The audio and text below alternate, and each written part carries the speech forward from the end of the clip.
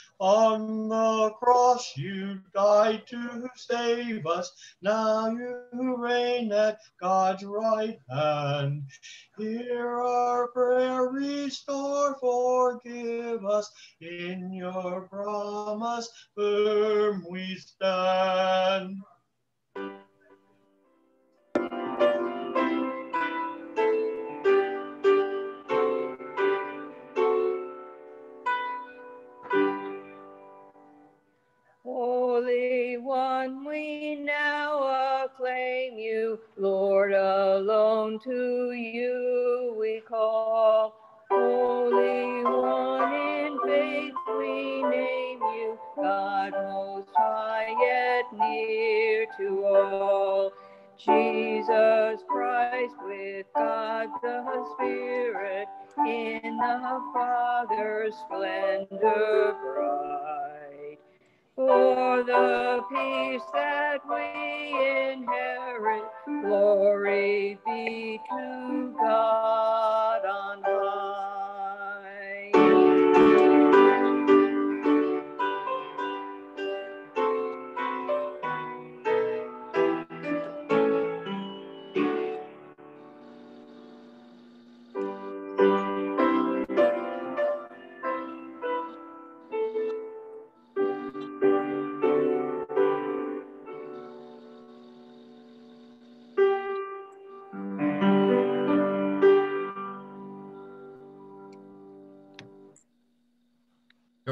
invited to sing along while muted at home as we sing the gathering song.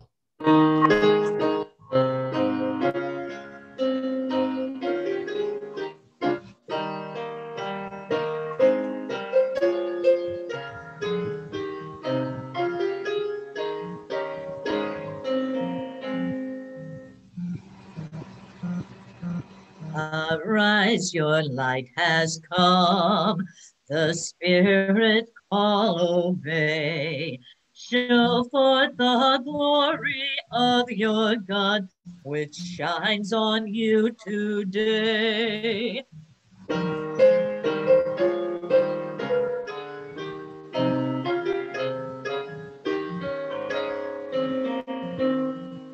Arise, your light has come. Fling wide the prison door. Proclaim the captives liberty, good tidings to the poor.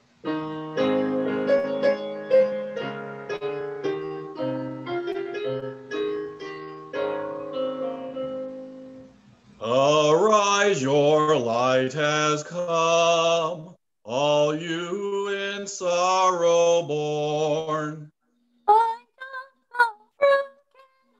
Broken-hearted ones and comfort those who mourn.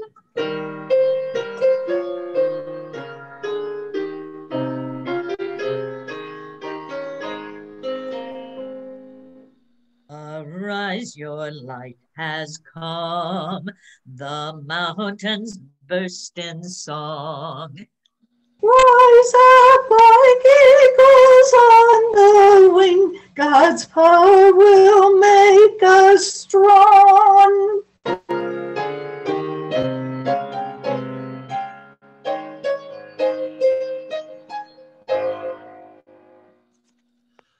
The grace of our Lord Jesus Christ, the love of God, and the communion of the Holy Spirit be with all of you and also with you. Let us pray. Holy God, creator of light and giver of goodness, your voice moves over the waters. Immerse us in your grace and transform us by your Spirit, that we may follow after your Son, Jesus Christ, our Savior and Lord, who lives and reigns with you and the Holy Spirit, one God, now and forever. Amen. A reading from the book of Genesis, the first chapter. In the beginning, when God created the heavens and the earth, The earth was a formless void, and darkness, darkness covered the face of the deep, while a wind from God swept over the face of the waters. Then God said, Let there be light, and there was light. And God saw that the light was good, and God separated the light from the darkness. God called the light day, and the darkness he called night. And there was evening and there was morning the first day. Word of God, word of life. Thanks be to God.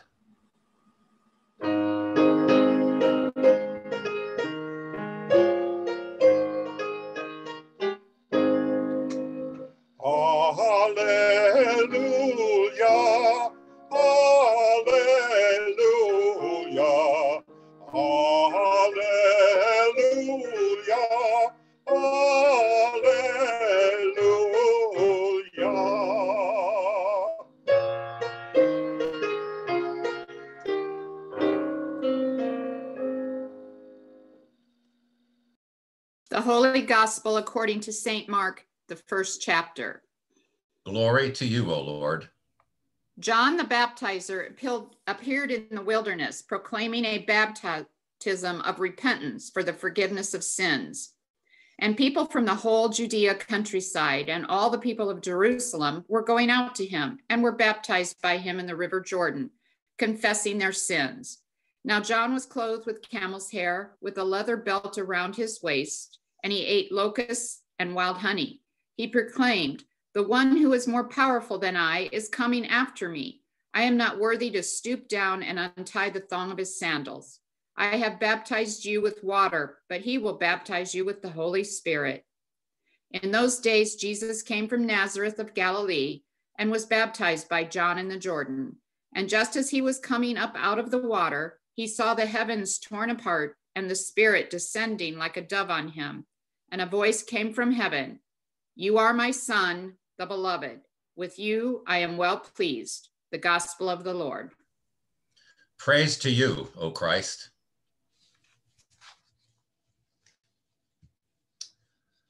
Every year we celebrate this, the baptism of our Lord Jesus. Um, it's amazing, you know, baptism is more, is, is in our term, is more of a ritual.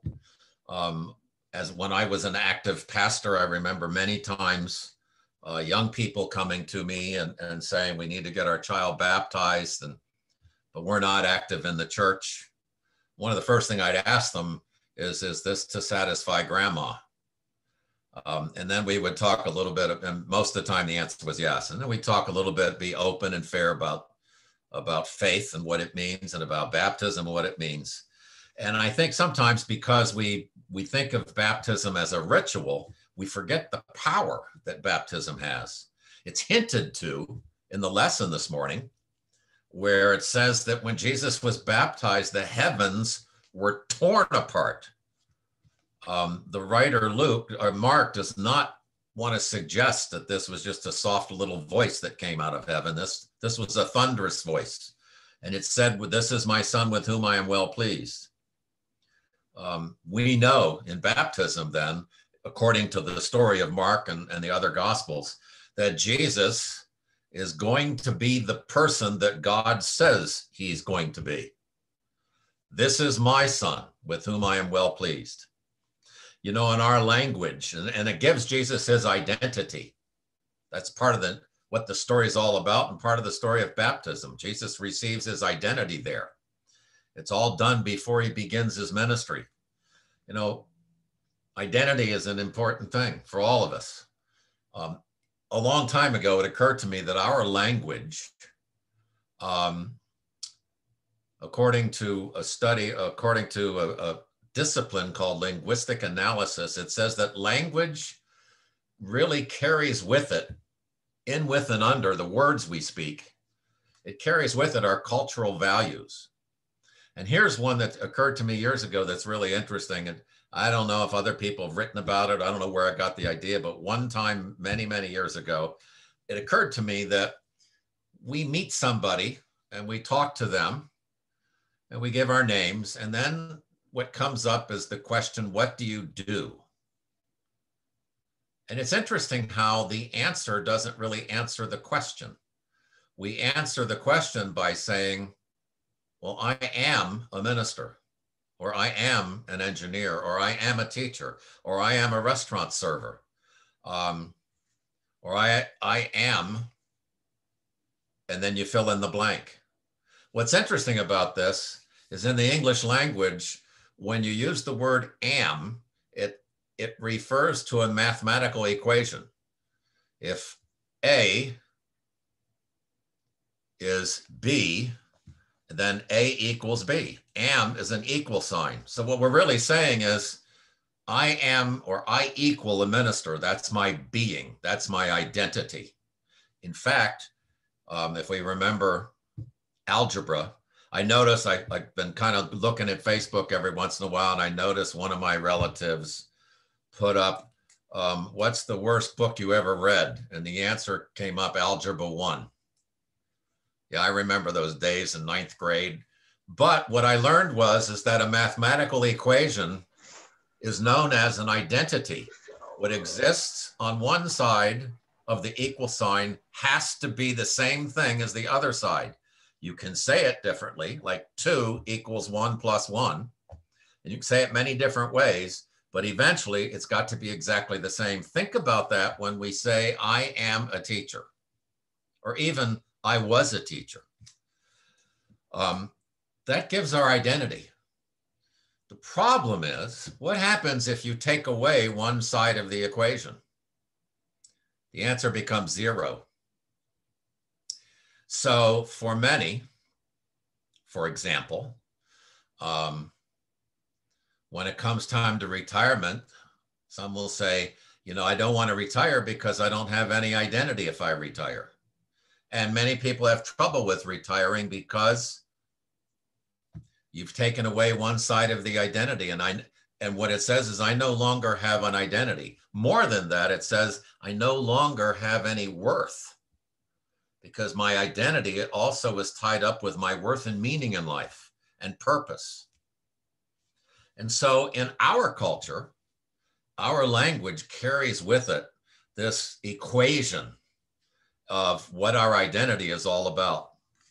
Many years ago, after a funeral, I met uh, the uh, the member of that that I held the funeral, officiated at his funeral. His daughter and, and son-in-law had come in from Denver, and uh, we were sitting in in the backyard um, of the house. Um, we got talking, and I and, and I know that the person the the um, person that I buried had told me that her son-in-law was the CFO of a large energy company. And so I said to him, Jack, I said, you were CFO of Williams Energy, weren't you? And uh, I'm going to hold the answer until later in the sermon. But there was the there was the question. You were, because he was retired, you were the CFO. So what I was saying was you and all of your meaning in life and all of your identity is equal to you being a CFO. You know, society gives us that. That's part of our culture. It gives us our identity, our meaning, our values in life, and our value in life as a citizen or as a person. We can see how powerful this is of having society define for us who we are, of telling us that we must, if we are a teacher or whatever, that when we stop, we're zero. We have no more value. Um, all we need to do is look at teenagers today and social media. Many, many teens, and it's extremely strong influence. Get their value as human beings. They're now in their teen years, you know, we're all searching for identity and, and trying to figure ourselves because we're beginning to break away from the identity we get from our parents and we're trying to find that separate identity in life and our meaning and our worth and our pathway. Um, I'm sure we all remember as teens, it's, and looking back, it's, it's a tough, tough time. There is a lot going on. And now we've got social media that has immediate answers and can destroy young human beings, not to mention sometimes adults, but young human beings have been known to commit suicide because the world around them in their social media world tells them they have no worth or no value. There's body shame. We do it through power. There's body shaming. There's um, uh, racism online. There's uh, all kinds of all kinds of prejudice dealing with sexual orientation. All of those things are extremely powerful when we get our identity from the world, which we tend to do. We can also use that equation, I am or you are. Um, we can also use that to define others um, through fear, false narratives, conspiracy theories, in order to elevate our own self worth. The problem with our identity is that sometimes we don't need the world to give us our identity because we already feel that we don't have any, that we don't have any worth, that we are I am equals a zero, that I have no purpose, no meaning. And then we're open for all kinds of things. Then, then our identity becomes a commodity, um, something to, to let the world tell us that we're okay. Sometimes, for example, we can be so depleted of self-esteem that we need constantly need the world to tell us we're wonderful. And then we can become narcissists. Um, totally low self-esteem and need of the world to tell us how, how we have value and worth before others. And then it can be used by society, identity, telling people they are worthless, telling people they have no value, in the process building ourselves up. And you can end up with societies where there is systemic prejudice. Um, obviously, the one that comes to mind is Nazi Germany. That's the standard bearer. Um, that's the, the most extreme example. There are other countries, but this was the most extreme example where there are uh, where international Jew Jewish conspiracy theories um, set out, where a society set out to destroy an entire race of people. Um, we also, in our society, have prejudices. And one of the things we can we use in society is stereotyping. Um, instead of looking at individuals and people as individuals, we can take an entire group of people and our society can tell them they have no worth. Um, and that can change over time. Um, for example, one of the redresses that the United States had against England, or the colonies had against England, in the opening paragraphs of the Declaration of Independence, we clamored for immigration. Send us immigrants. And of course, over time, immigrants have been acceptable. Over time, some of them have been unacceptable, um, Irish or Catholic or whatever, uh, throughout our history. We have a powerful response to identity of groups of people. And that can elevate white supremacy or the supremacy of the natives who live here. I mean, native whites who said they were nativists. So there's a whole thing that's built up in this um, this thing about identity and in our and it's carried through our language, um, and it's can be dangerous. In the story today, Jesus is baptized, and we're told that the way they describes the, the way that, that Mark describes the baptism is by using the language of, of a violent tearing open of heaven. This is a momentous occasion in the history of humanity. And in the baptism comes the voice of God that says, This is my son with whom I am well pleased. And there's the affirmation or the conference of God, the creator, creating an identity for God's son. Um, and that changes, by the way, the equation. No longer is the identity I equal something. Now identity is conferred by God. And it really usurps any identity that the world will give Jesus. In fact, one way to look at the gospel struggle of Jesus is to discover that Jesus was constantly struggling to hold on to the identity that God gave Jesus, and society and the powers of the world didn't want Jesus to have that identity. So they tried to equate Jesus with the devil. Um, he has Beelzebub. They tried to, to equate Jesus with a blasphemer. Well, he claims he's he's got his identity comes from God, but he's really defiling all of that. It, it changes the whole whole idea of baptism. I mean, of identity. This idea of baptism. But this is precisely in the gospel lesson. The good news for you and me is that this too is where our our identity comes from. It comes from our baptisms and it changes the equation. The power of baptism that me and many others, and I'm sure all of us, have taken for granted and have forgotten about is that God also in baptism makes us Jesus's brothers and sister. Earlier in our liturgy today, we talked about baptism and in, our Thanksgiving for baptism and how it makes us the brothers and sisters of Jesus and added to the first lesson about creation in Genesis is that in baptism, and Paul tells us this, we are recreated. And now our identity does not come from the world. It cannot be conferred by people who hate us, or it cannot be conferred by others, but it gives us the power of, of baptism that our, our value and worth comes from God. Think about that a minute. How many times in your life have you felt worthless? I know I have. I will share with you, I had a really rough time in college um, and during the Vietnam War and the civil rights movement.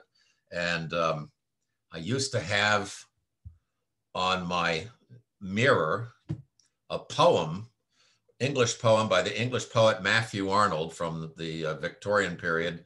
And there is a part called Dover Beach, and there's a part of it says, let us be love. Let us be true, O love, because the world which stands before us has really um, love, nor certitude, nor help from pain. It's a it's a very dark poem, and um, I don't have that anymore because I rediscovered that my worth doesn't come from my sense of lostness or my search for identity. I'm already identified by God. This is my child with whom I am well pleased. Think about that in your own life, how powerful that could be to rely on the power of baptism.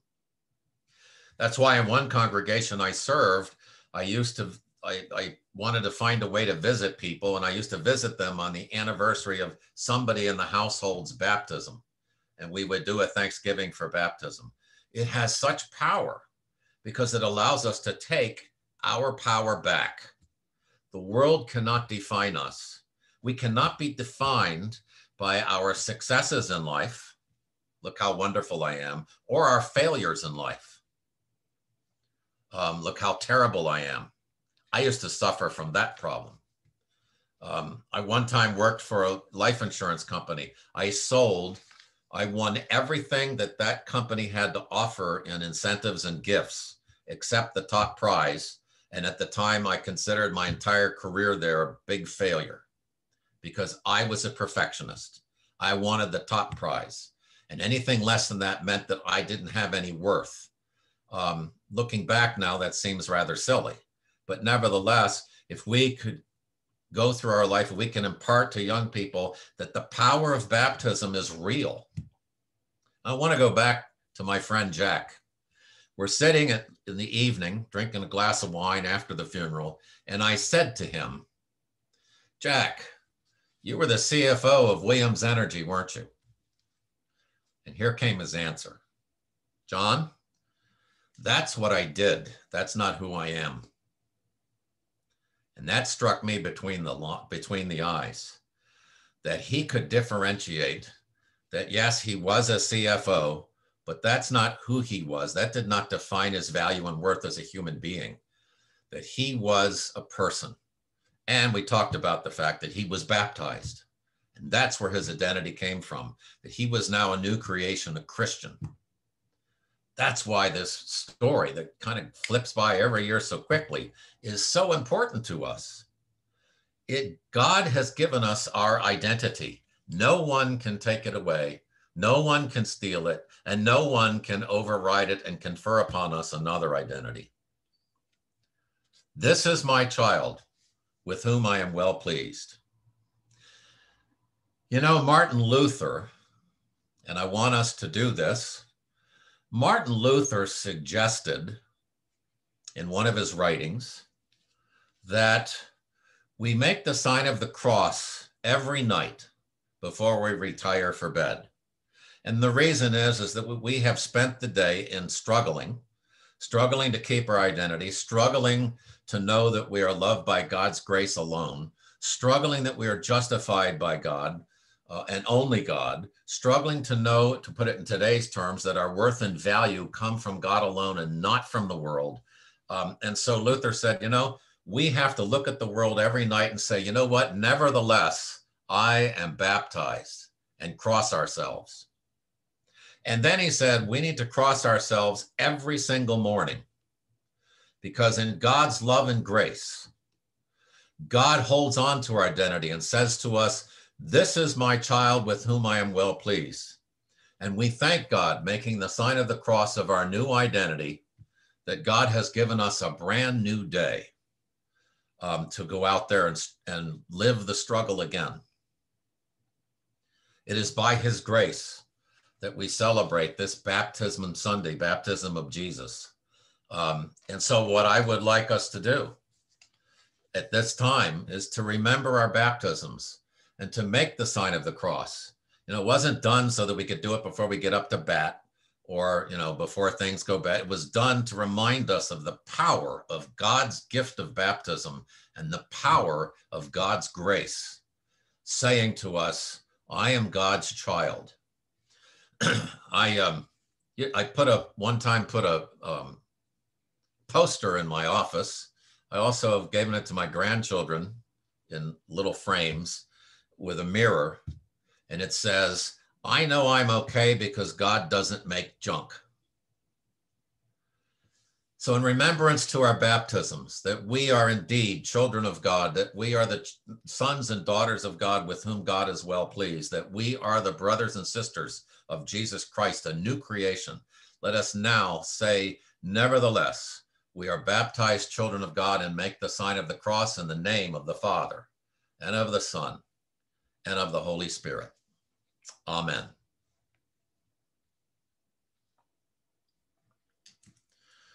With all Christians around the world, let us confess our baptismal faith in the words of the Nicene Creed.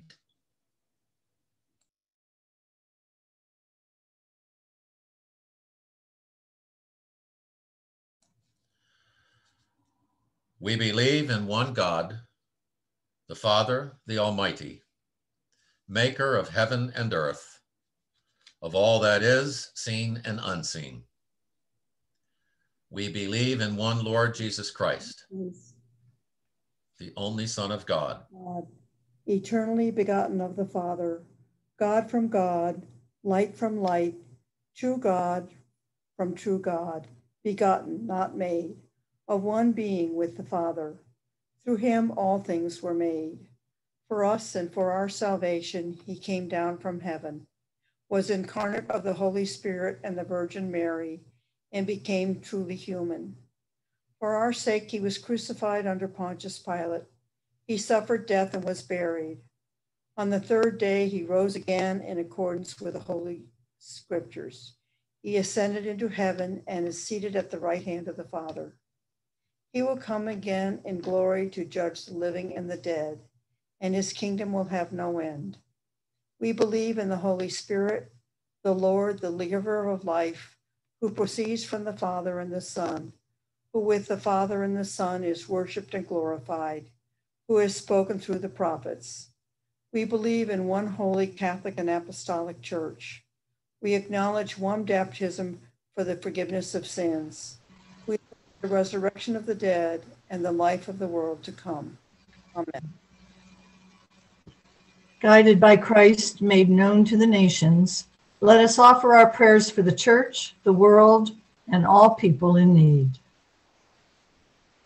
For the church throughout the world and its leaders, that guided by the Holy Spirit, they may proclaim the forgiveness of sins.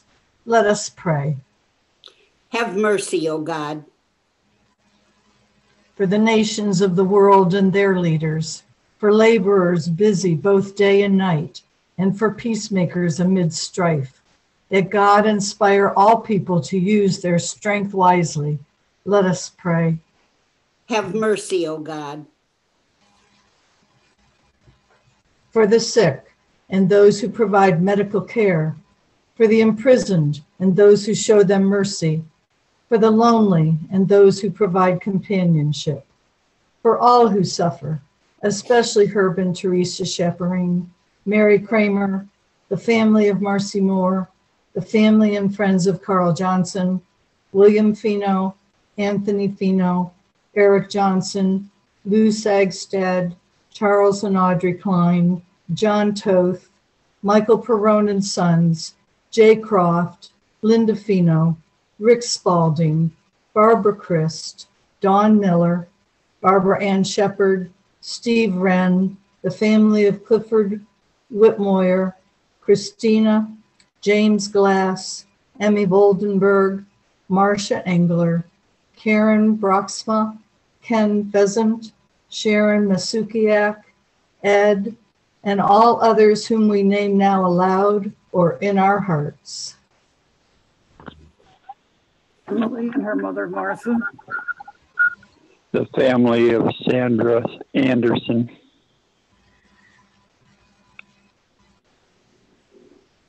For our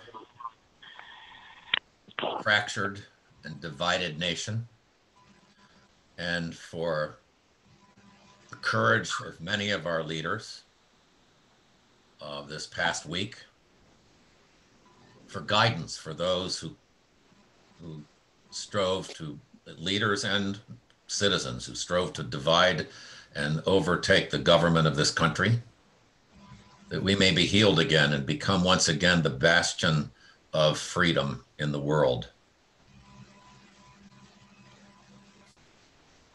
Have mercy on us, O God.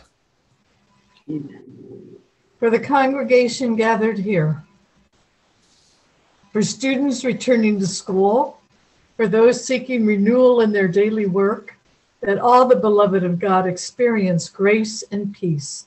Let us pray. Have Have mercy, mercy, O O God. in thanksgiving for the faithful departed who now rest from their labors, that their witness inspire us in our baptismal vocations. Let us pray. Have mercy, O God. Merciful God, hear the prayers of your people, spoken or silent, for the sake of the one who dwells among us, your Son, Jesus Christ, our Savior. Amen.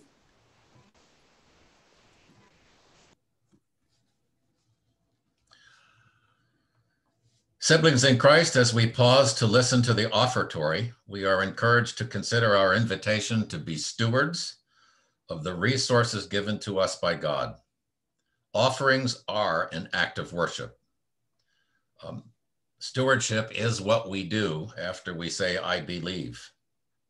Prayerfully consider how God invites us to offer what God has given to us. Offerings that are discerned to be offered to the Lord through the Church of St. Matthias may be mailed to the church office. Offerings discerned to be offered to the Lord through the Church of St. Paul's may be mailed to the church office or given online at the St. Paul's website. Let us prayerfully consider now our offerings.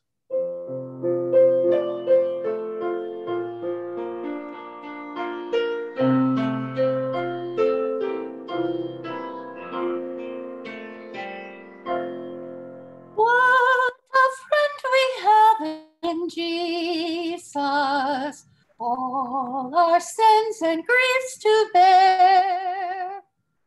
What a privilege to carry everything to God in prayer.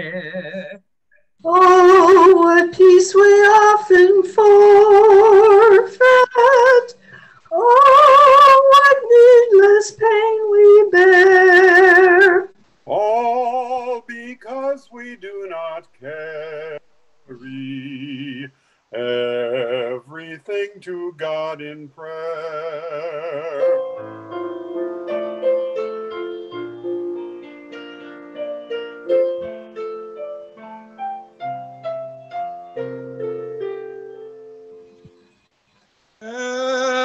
Have trials and temptations?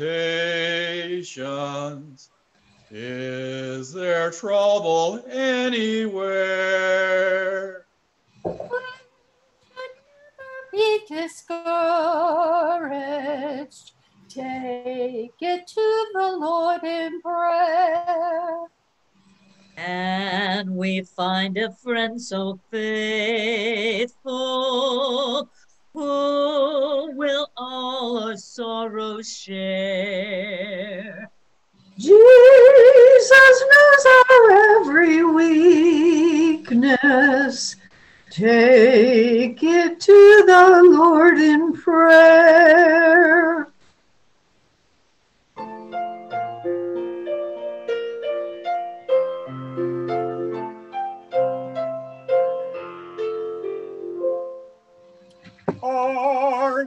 And heavy laden, cumbered with a load of care? Precious Savior, still our refuge. Take it to the Lord in prayer. Do your friends despise, forsake to the Lord in prayer. In his arms he'll take and shield you. You will find a solace there.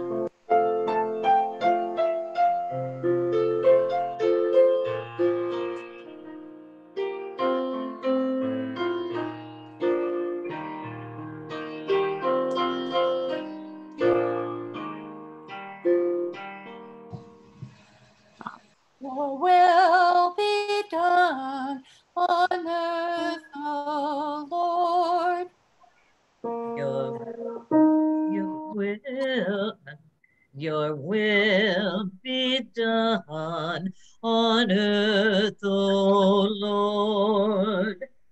Your will be done on earth, O Lord. Your will be done on earth, O Lord. Your will be done on earth, O Lord.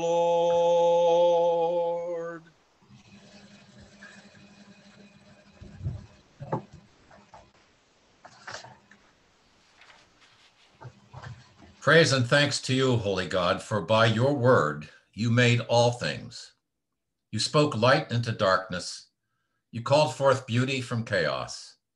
You brought life into being. For your word of life, O God. We give you thanks and praise.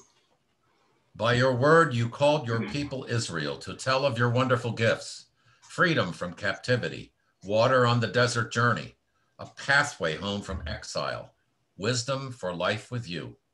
For your word of life, O Lord. We give you thanks and praise. Through Jesus, your word made flesh, you speak to us and call us to witness forgiveness through the cross, life to those entombed by death, the way of your self giving love. For your word of life, O God. We give you thanks and praise. Send your spirit of truth, O God. Rekindle your gifts within us. Renew our faith, increase our hope, deepen our love for the sake of a world in need. Faithful to your word, O God, draw near to all who call on you. Through Jesus Christ, our Savior and Lord, to whom with you and the Holy Spirit be honor and glory forever. Amen. Let us pray. Our Father in heaven, hallowed be your name. Your kingdom come, your will be done on earth as in heaven.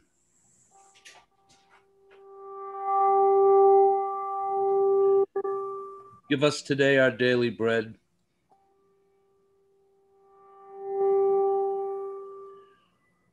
Forgive us our sins as we forgive those who sin against us.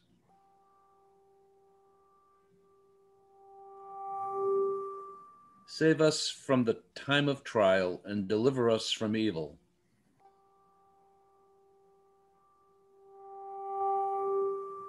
For the kingdom, the power, and the glory are yours, now and forever. Amen.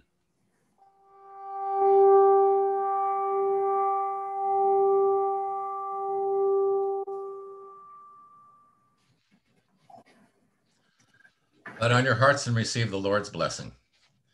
May Almighty God, who sent the Holy Spirit to Mary, proclaim joy through the angels, sent the shepherds with good news, and led the Magi by a star, bless you this day through the Word made flesh. You're now invited to, to sing along while muted at home.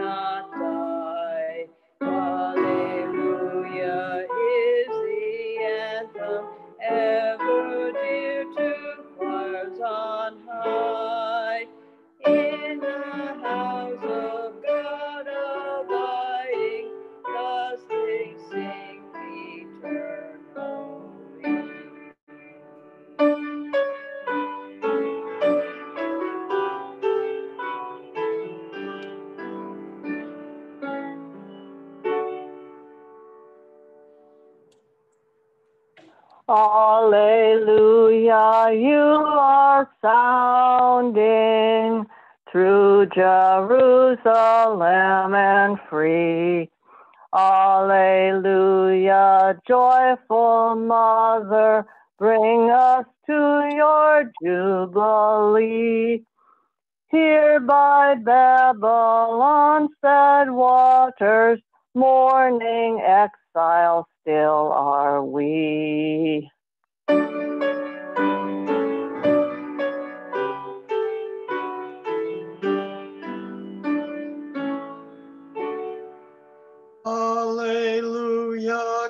Cannot always be our song while here below. Alle- Alleluia, our transgressions make us for your jubilee. For the solemn time is coming when our tears for sin shall flow.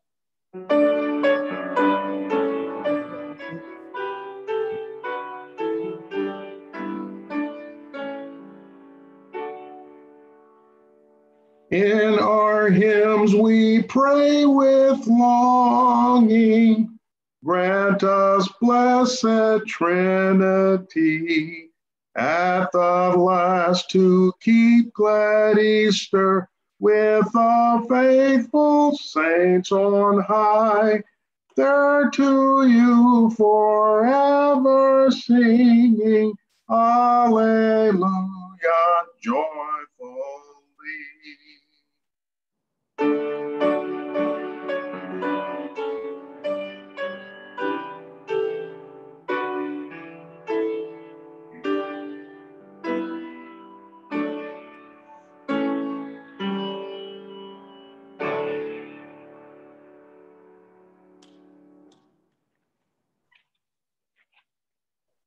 Go in peace, share the gift of Jesus.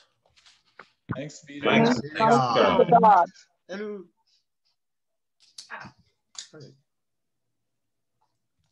Thank you. Mm-hmm. Stay safe, everyone. Everyone have a Stay great safe. week. God bless Good to you see you all. all. God bless Bless everybody. you. Have a week. Have a great week, everybody. All right. Yes. Bless You everybody. Bye. Have a good week.